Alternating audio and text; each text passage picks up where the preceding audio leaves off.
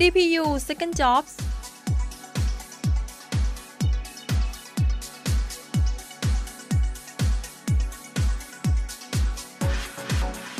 ตอนนี้ก็เป็นเจ้าหน้าที่ฝ่ายสื่อสารองค์กรค่ะ อยู่ที่สำนักงานกองทุนสนับสนุนการสร้างเสริมสุขภาพ หรือว่าที่ทุกคนจะรู้จักกันในนามสสสค่ะ การทำงานจริงๆเนี่ยส่วนใหญ่แล้วก็จะพูดกันว่าประสบการณ์ ฉัน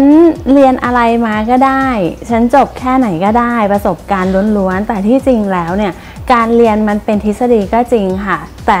ธุรกิจบัณฑิตอะได้สอนเราให้รู้ถึงแก่นแท้ ให้รู้ลึกลงไปถึง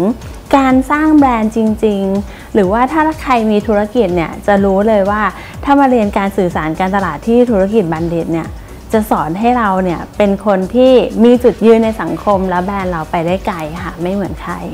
ตอนเรียนเนี่ยเป็นอะไรที่สำคัญมาก ๆ ที่ธุรกิจบัณฑิตเนี่ยสอนให้นักศึกษาทุกคน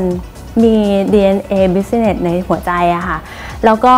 ทำให้ทุกคนเนี่ยออกมากล้าที่จะเสี่ยงกล้าที่จะเดินก้าวออกมาทำธุรกิจของตัวเองกันทุกคนเห็นได้ว่า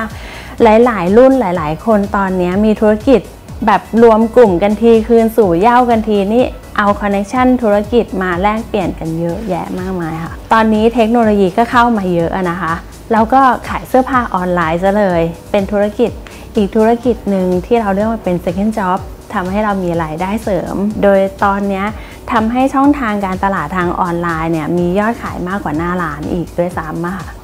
ทุกการทำงานนะคะก็มีอุปสรรคทั้งหมด แต่ว่า การที่จะไปได้ไกลเนี่ยต้องใจรักจริงๆ คิดว่าเราสามารถที่จะพลิกวิกฤตให้เป็นโอกาสได้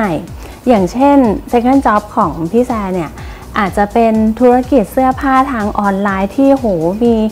หมื่นเจ้าแสนเจ้าเลย แต่เราจะทำยังไงให้เรายืนอยู่ได้อย่างยั่งยืน เราก็คิดว่าเราพลิกคู่แข่งเป็นคู่ค้าไหม เราสร้างความแตกต่างของเราเองไหม ให้เรารู้สึกว่าการที่จะยืนอยู่ได้ระยะยืนยาวเนี่ยมันต้องเป็นที่หนึ่งมันต้องเป็นหนึ่งเดียว เราก็สร้างความแตกต่างโดยที่เรามี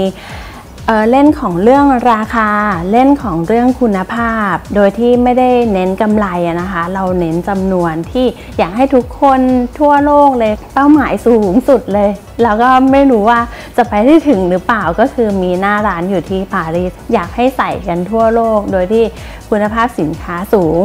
แล้วก็ราคาไม่ได้แพงมากนะคะ เพราะทุกอาชีพสามารถมี second job ได้ค่ะ หากคุณมี business DNA แบบแซ่ค่ะ DPU New Business DNA